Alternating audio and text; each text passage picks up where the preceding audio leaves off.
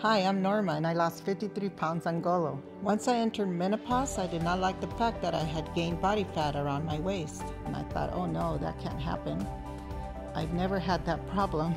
After starting Golo and taking release, I immediately saw an improvement in my waistline. With the Golo plan, they don't restrict you, they teach you how to enjoy the foods you love in a healthy way. Sticking to the Golo plan and taking release actually worked.